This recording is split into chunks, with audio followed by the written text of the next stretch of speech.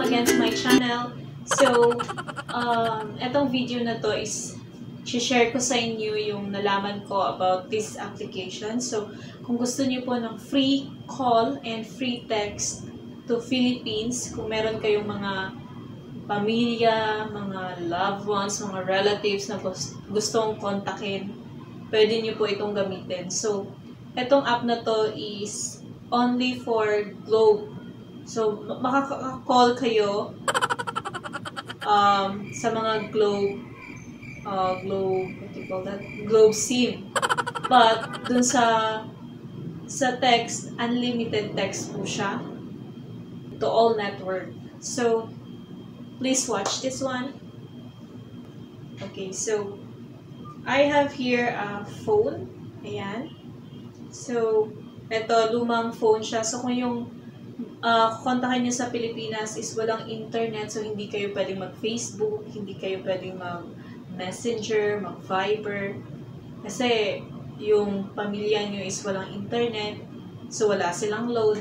So, pwede nyo po silang tawagan gamit tong app na to. So, again, ito, yung old phone. So, nakakipad lang siya. So, Nokia phone. And then I have here, uh, so I have here an iOS device. Ayan.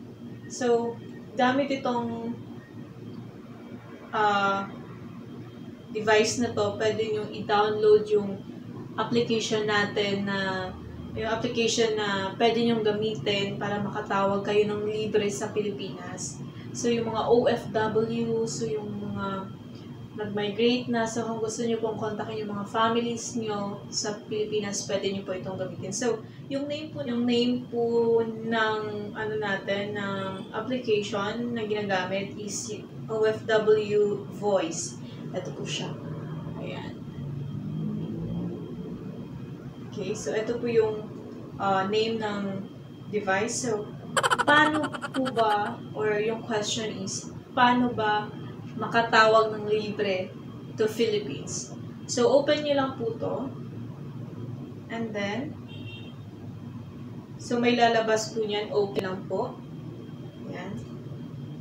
And then, pagka pagkalabas nun, so pagka okay-okay mo lang, so meron dito watch a video.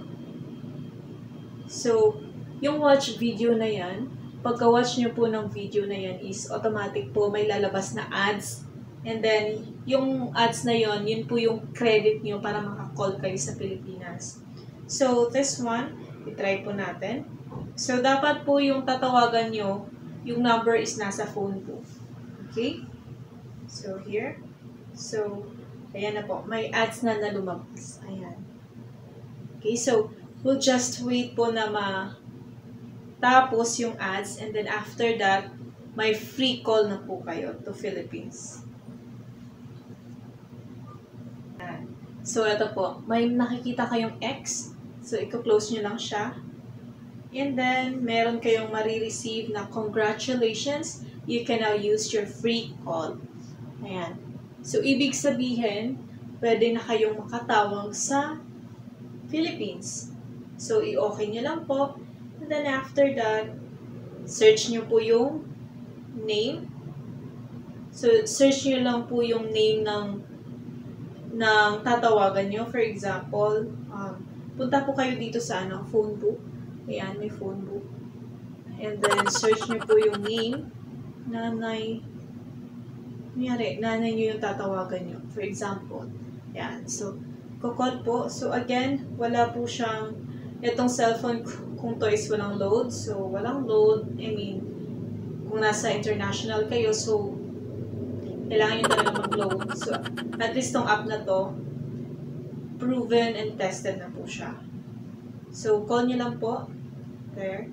And then, pagka pindot ng call button, so, i-call nyo lang siya. Ayan. So, may lalabas po na OFW voice would like to access the microphone. So, ayan na po siya.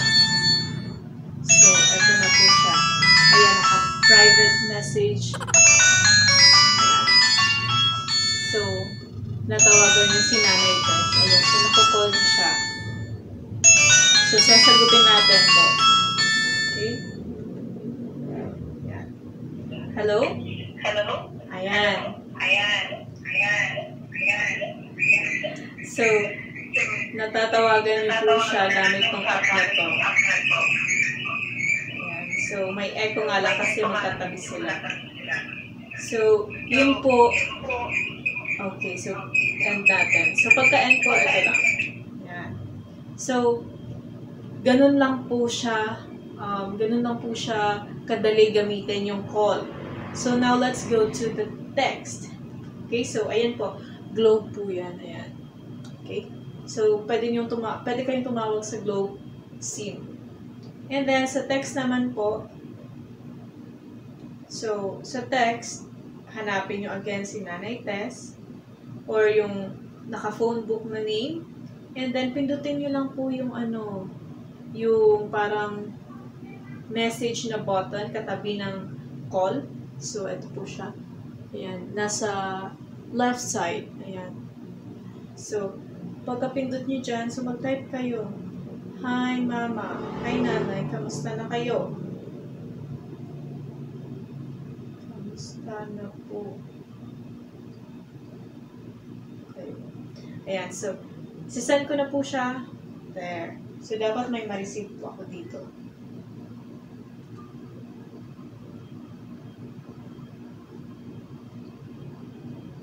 Ayan. So, may na-receive na tayo, guys. And then, ayan po yung nakalagay. So, hi, nanay, kamusta na po kayo? So, yun po. Ganun lang po kadali yung pag-send ng message. So, kumain na po ba kayo? Ayan. So, message sent. So, may lalabas po dyan na message sent. And then, add play after this. So, okay nyo lang po yan. So, yun lang po. Wala po kayong babayaran. Unlimited text po siya. So, kahit sa kahit sa Smart Sun or kahit saan po, um, pwede nyo pong pwede, nyo, pwede po kayo mag-text. Okay? So, ayan, may ads na siyang lumabas. So, ganun lang po kadali.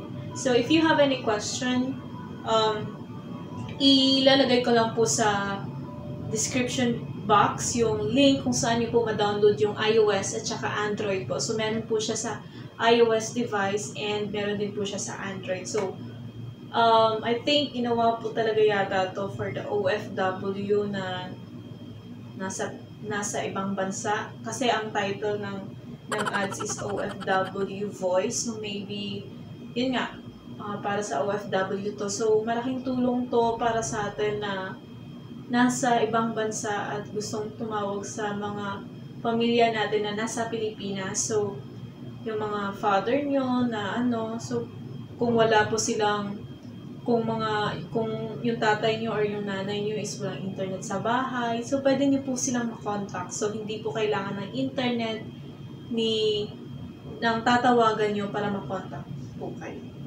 Okay, so you need to download lang po yung app na to para makatawag ng libre And kailangan po tapusin natin yung ads kasi para po may credit kayong marireceive para tumawag. And then, of course, uh, ano din, sa text, so may lalabas din na ads. So, tapusin nyo lang po and then close nyo lang.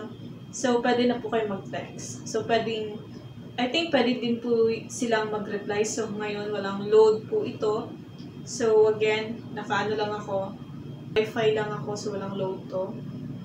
Alright, so, that's all po for this video and I hope you like this video. Sana makatulong ako sa mga OFW natin na nasa ibang bansa.